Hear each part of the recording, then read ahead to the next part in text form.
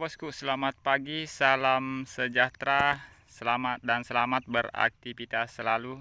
Semoga diberikan kesehatan dan rezeki yang berlipat ganda bosku ya. Jadi kembali lagi Silbik Bos channel petani muda 47 ingin menjadi petani sukses bosku.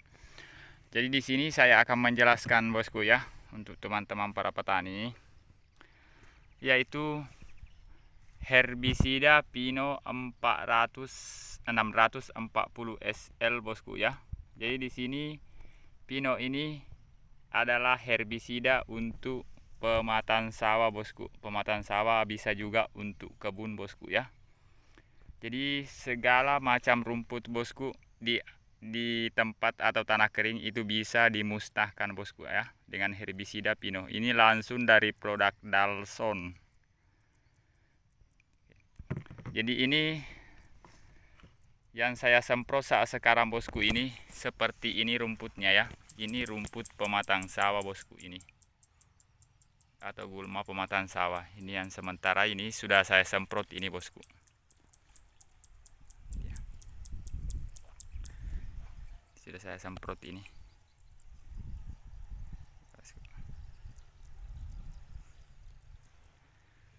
dosis yang saya gunakan ini bosku. Saat sekarang ini dosis yang saya gunakan untuk herbisida pino, herbisida pino ini 640 SL dosisnya bosku itu saya gunakan ini untuk yang saya gunakan yaitu 100 mil per tangki 16 liter bosku ya. Ini dia. 100 mil per tangki 16 liter. Jadi untuk teman-teman para petani bisa dicoba atau bisa digunakan di pematang sawah bosku ya. Bagaimana dengan hasilnya?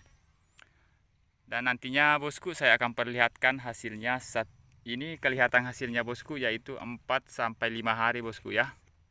4 sampai 5 hari baru baru rumputnya itu mulai merah bosku. Kalau dua hari satu hari belum kentara ya. Nanti saya akan perlihatkan bosku seperti apa hasilnya? Ini, ini rumput pematang sawah saya ini bosku. Ini subur sekali rumputnya ini. Kelihatan sekali bosku. Ini sudah besar rumputnya ini. Ini ini baru-baru saya semprot ini dengan dosis 100 ml per tangki dengan herbisida pino. Jadi dia ini bosku bahan aktifnya isopropilamina glifosat ini tinggi bahan aktifnya bosku ya 640 GL oke bosku. Jadi isinya ini satu liter. Ini dia.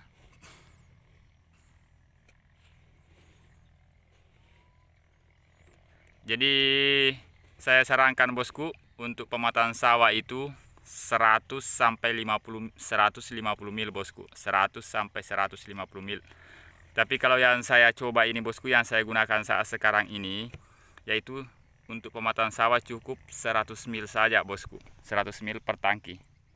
Kalau rumput seperti ini insya Allah bisa dimusnahkan bosku. Bisa dimatikan ini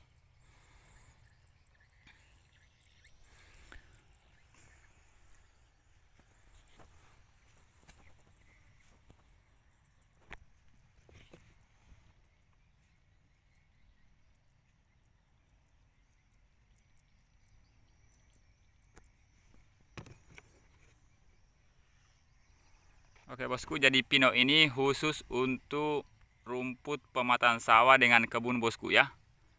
Untuk pematang sawah dengan kebun di lahan kering bosku. Oke bosku, sekian informasi dari saya. Mudah-mudahan bisa bermanfaat untuk teman-teman para petani. Dan mudah-mudahan banyak rezeki dan bisa menggunakan produk nantinya bosku yang saya upload ini.